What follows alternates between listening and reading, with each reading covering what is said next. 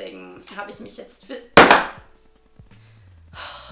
Immer das gleiche. Hey und herzlich willkommen zu einem neuen Video von mir.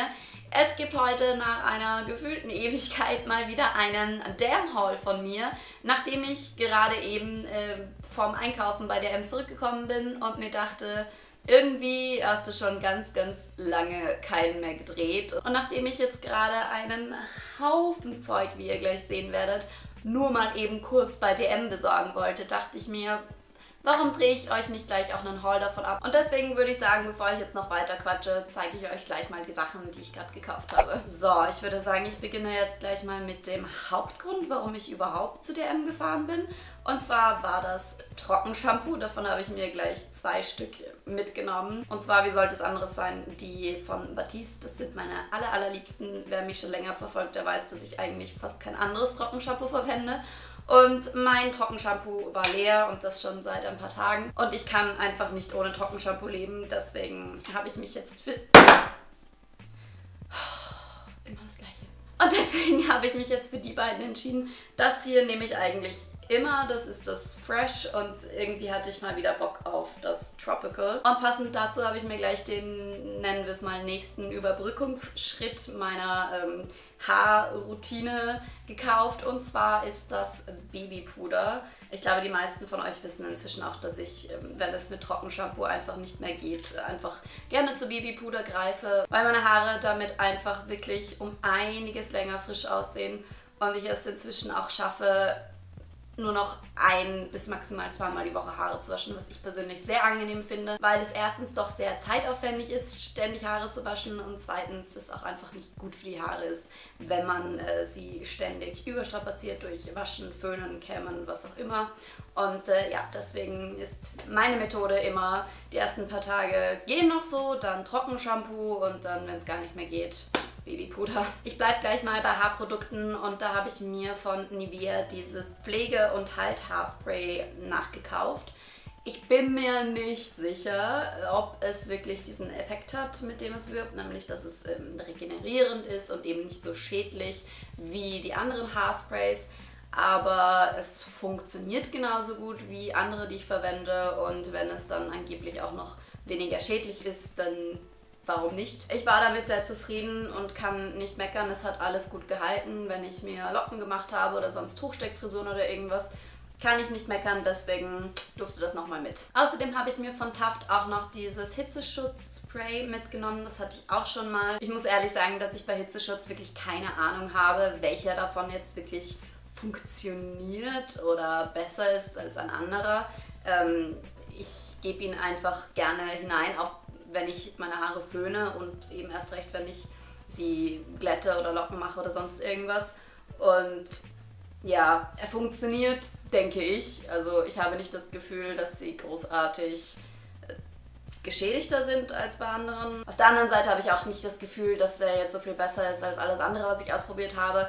Aber ich denke mir eben, ja, bevor ich gar keinen Hitzeschutz reingebe, dann eben den der erste, der mir so in den Weg kommt. Dann habe ich mir vom NYX-Stand äh, diesen von den Lingerie Lipsticks mitgenommen. Das sind ja diese äh, Liquid Lipsticks, die dann matt werden. Und genau den habe ich auch auf meinen Lippen. Das ist die Nummer 04 Raffle Trim und ist einfach ein total schönes Nude, was mich persönlich sehr an Velvet Teddy erinnert. Allerdings ist Velvet Teddy bei mir noch ein bisschen orange-stichiger auf den Lippen. Das ist eher bräunlich. Und ich mag die Farbe ehrlich gesagt sehr, sehr gerne. Die Lingerie Lipsticks, von denen habe ich jetzt schon ein paar, halten bei mir auch wirklich, wirklich gut. Selbst ohne Lip Liner. Und äh, wenn wir schon bei Lip Liner sind, da habe ich mir auch einen geholt, allerdings äh, jetzt nicht zwingend passend zu dem Lippenstift, sondern einfach, weil ich die Farbe auch total schön fand. Und zwar ist das auch von NYX die Farbe Peekaboo. Die hatte ich schon mal. Ich habe absolut keine Ahnung, in äh, welchen Gefilden der herumfliegt. Wahrscheinlich in irgendeiner Handtasche von mir. Aber ich fand die Farbe total schön. Das ist einfach so ein ähm, sehr neutrales Rosa, was meistens sehr, sehr unauffällig auf den Lippen aussieht und eben als hätte man eigentlich fast nichts oben. Es passt sehr perfekt zu meiner Lippenfarbe und deswegen habe ich mir den einfach nochmal geholt. Apropos nochmal geholt, ich habe mir auch von Essie diesen Topcoat wieder geholt, weil ich den einfach richtig cool finde. Nicht nur in Kombination mit den Essie-Nagellacken, sondern auch einfach mit allen anderen Nagellacken. Ich habe das Gefühl, egal über welchen Nagellack ich diesen Topcoat gebe, der Nagellack hält einfach um ein vieles länger. Es ist egal, ob das jetzt Catrice oder Essence oder Essie ist es liegt einfach dann am Topcoat, wie lange der hält. Und deswegen dachte ich mir, bevor ich mein Geld in alle möglichen farbigen Essie-Nagellacke stecke, weil die bei mir einfach am besten halten, kaufe ich mir einfach den Topcoat und schmier den über alles andere drüber, weil wenn es dann genauso gut hält, wie wenn ich ihn über einen Essie-Lack gebe, dann kommt es mir im Endeffekt billiger, wenn ich einfach den Topcoat habe. Und weil ich eben zu geizig war, mir von Essie einen Nagellack nachzukaufen, den ich unfassbar liebe, nämlich Mademoiselle, äh, habe ich mir einfach einen ähnlichen von Trended abgeholt. Und zwar ist das so ein Base and Protect Coat. Und der ist eben so leicht durchsichtig mit so ein bisschen rosa, sodass es halt so ein bisschen nach so einem French äh, Nagellack aussieht. Und der Mademoiselle von Essie hat eben so diesen wunderschönen Effekt von ich habe ja eigentlich gar nichts auf den Nägeln. Es sieht total natürlich aus, aber es ist halt schon ein bisschen was oben. Und es sieht einfach hübscher aus, als wenn nichts auf dem Nagel ist. Und ähm, ja, aus purem Geiz wurde es jetzt der hier. Außerdem nachgekauft habe ich mir den Baby Skin von Maybelline. Das ist so ziemlich der einzige Primer, den ich wirklich regelmäßig verwende. Auch wenn ich oft genug vergesse, Primer zu verwenden. Weil wenn ich mein Gesicht eingecremt habe, bin ich froh, wenn die Creme endlich eingezogen ist und ich anfangen kann, mich zu schminken, dann auch noch zusätzlich Primer aufzutragen. Das ist dann bei mir immer so eine Frage der Zeit. Meistens ist die nicht vorhanden, deswegen vergesse ich ab und an darauf, aber der gefällt mir wirklich gut. Ich habe das Gefühl, dass es meine Poren wirklich ein bisschen verfeinert und dass das Make-up einfach ein bisschen besser ähm, mit der Haut ähm, verschmilzt und das Ganze optisch einfach ein bisschen ebenmäßiger aussieht. Und als allerletzte dekorative Kosmetiksache habe ich mir dann von Trended Up dieses Puder hier nachgekauft. Das ist das Skin Supreme Compact Powder. Hatte ich auch schon mal, habe ich glaube ich auch in ein paar Videos verwendet. Was ich zum Beispiel an diesem Puder praktisch finde, dass es auch einen Spiegel hat. Das hat nicht jedes.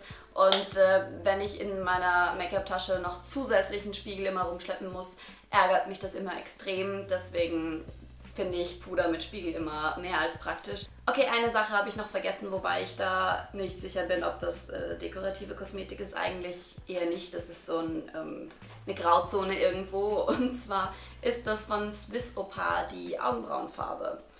Und ähm, ja, es ist, äh, es ist dekorativ und es ist Kosmetik, aber es ist ja nichts, was man wirklich regelmäßig anwendet. Deswegen Egal, ich habe nichts gesagt. Das ist die Augenbrauenfarbe in Braun. Und äh, es ist auch Wimpernfarbe, allerdings äh, bin ich zu doof, alleine bei mir Wimpern zu färben.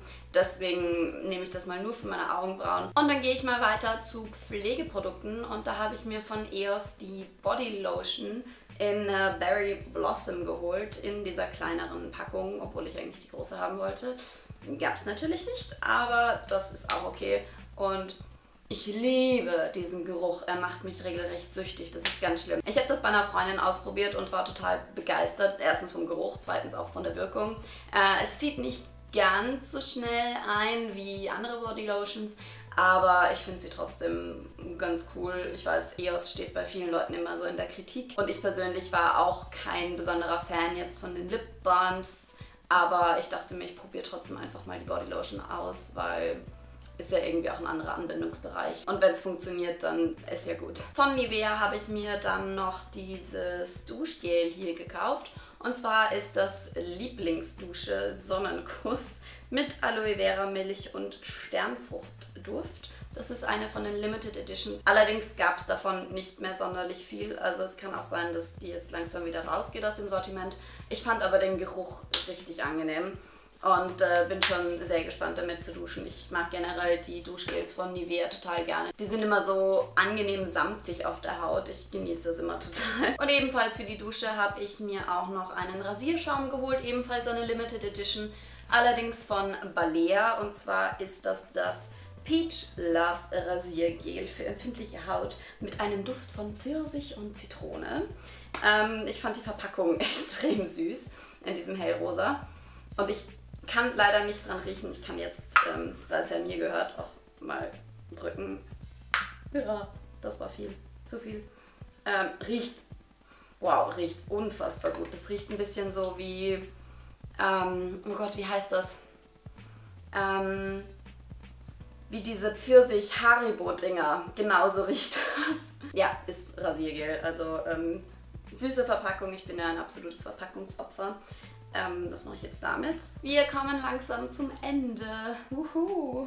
Und äh, ich habe dann noch von Balea das Micellenreinigungswasser für jeden Hauttyp ohne Parfum. Das ist dieses hellrosane hier. Ich hatte früher mal das lilane und ich glaube, das hier hatte ich noch nicht. Glaube ich. Ich weiß es wirklich nicht. Ich weiß es leider sogar wirklich gar nicht. Aber ich bilde mir ein, dass ich das noch nicht hatte und deswegen wollte ich es ausprobieren, als ich es jetzt gerade gesehen habe. Ich weiß nicht, ich probiere gerne diese Micellenwasser aus. Die benutze ich meistens nicht wirklich zum richtigen Abschminken, sondern einfach um die letzten Make-up-Reste vom Gesicht zu entfernen. Und äh, ja, ich war mit dem Lila dann eigentlich immer ziemlich zufrieden, deswegen bin ich gespannt, wie das Rosane so ist. Ich habe nur manchmal Bedenken bei diesem für alle Hauttypen, weil meine Haut manchmal ein bisschen ähm, ja, eine Mimose ist, aber was soll bei mit Zellenwasser großartig schief gehen. Außerdem habe ich mir von ähm, Rexona das Cotton Dry Deo nachgekauft. Äh, das ist eigentlich so das, was ich im Normalfall immer habe. Einfach weil ich die Größe für die Handtasche extrem praktisch finde. Deswegen kaufe ich mir meistens die, weil ich habe dann immer was zu Hause stehen und wenn ich doch mal irgendwie weg bin, kann ich es auch kurz in die Tasche schmeißen und es ist nicht so ein Riesending irgendwie.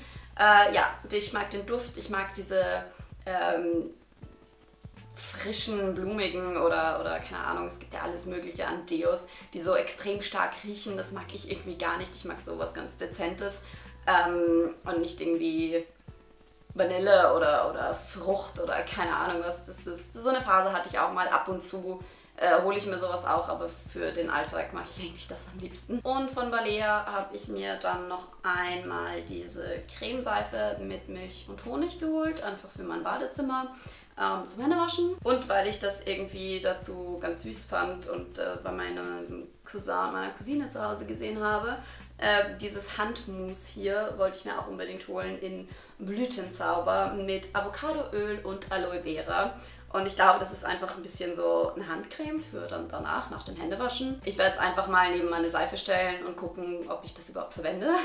Ich bin mir nicht so 100% sicher, aber ich finde es ganz cool und sonst landet es einfach auf meinem Schreibtisch oder sonst wo, wo ich es wirklich verwende. Wer mich kennt, weiß, dass das nächste Produkt etwas ist, was ich so gut wie in jedem DM-Haul zeige. Und zwar ist das von Ebelin, dieser Nagellackentferner in acetonfrei äh, mit diesem Punktspender hier, den ich sehr, sehr praktisch finde. Das ist der beste Nagellackentferner für mich persönlich. Ich empfehle den immer weiter. Also, wenn ihr den noch nicht ausprobiert habt, versucht es unbedingt. Und wir sind schon bei den allerletzten zwei Produkten, die eigentlich sowas von überhaupt nicht zusammenpassen. Und zwar ist das zum einen von Compete, äh, das sind so Blasenpflaster ähm, in einer Limited Edition, glaube ich. Also ich habe es zumindest noch nie in diesem Muster hier gesehen. Und zwar sind das fünf Blasenpflaster für die Ferse, weil das die großen sind und auch wenn ich die nicht immer nur auf der Ferse trage, ja, so ganz kleine bringen meiner Meinung nach auch gar nichts. Deswegen ja, kaufe ich mir gleich die großen, die sind am praktischsten. Und zu guter Letzt habe ich mir dann auch noch so eine kleine Dose von ähm, Nivea gekauft mit äh, Hautcreme, beziehungsweise das steht für Gesicht, Körper, Hände, alles einfach, ja, Hautcreme, gut. Ich wollte eigentlich Gesichtscreme sagen. Es ist eine Hautcreme. Ähm, die ist praktisch zu mitnehmen. Ja, ich dachte, sie wäre offen, aber nein, ist sie nicht. Ähm, das ist einfach eine weiße Creme, die äh, für alles Mögliche verwendet werden kann, ob jetzt Bodylotion oder fürs Gesicht vorm Schminken. Ich benutze die einfach für alles. Ich nehme die auch meistens auf Reisen mit, weil sie nur 50 Milliliter hat und ähm, ich die meiste Zeit nur mit Handgepäck reise.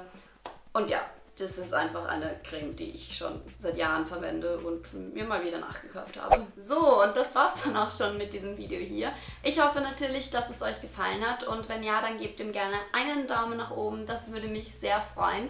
Schreibt mir doch mal in die Kommentare, wann ihr zuletzt bei DM wart, beziehungsweise was das letzte Produkt war, was ihr bei DM gekauft habt. Ihr findet dann hier seitlich zwei meiner letzten Videos und da unten könnt ihr mich sehr gerne kostenlos abonnieren, falls ihr das nicht bereits schon getan habt.